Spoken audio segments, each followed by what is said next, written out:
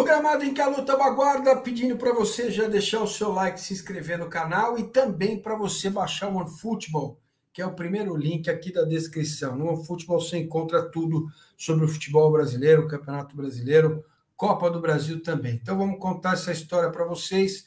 Goleada do Palmeiras, 5 a 0 em cima do Goiás. Alguns fatores que me chamaram muita atenção e eu começo dizendo, por ordem cronológica, né, na linha da régua do tempo, que foi um primeiro tempo excepcional do Palmeiras, até 25 minutos, 1 a 0 boa jogada ensaiada, Zé desvia no primeiro pau, gol do Arthur, que começa a se entrosar cada vez mais com o time, não pelo gol, mas pelo posicionamento dele, e é isso que eu quero falar. Vocês viram que o Dudu fez gol, e não é à toa que ele fez gol. Por que, que ele finalizou mais, chegou mais dentro da área?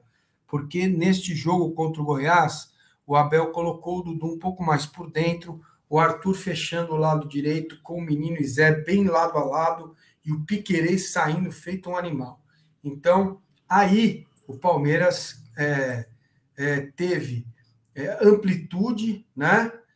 Com o Piquerez por um lado, o Arthur chegava também pelo outro, o Mike podia sair com tranquilidade, e foi realmente um primeiro tempo, 25 minutos primorosos. Bola de um lado para o outro, trabalhando a bola, de pé em pé, Estava 11 contra 11. O Goiás teve um jogador expulso no finalzinho é, do primeiro tempo. Depois o Goiás cresceu sim, mas o Everton não trabalhou, não teve um lance assim super perigoso. Ficou um pouquinho mais com a bola no pé, ficou um pouquinho mais perto do gol do Palmeiras, até a expulsão do zagueiro do Goiás. A expulsão do zagueiro do Goiás foi justa, porque o Rony toca a bola, ele não foi expulso pela violência do lance, na minha interpretação não vi a súmula, mas eu não tenho essa interpretação. A minha interpretação é de que seria um lance claro, manifesto de gol do Rony. Aí toma o cartão vermelho e o segundo tempo o Palmeiras fez quatro gols e jogou como quis, certo?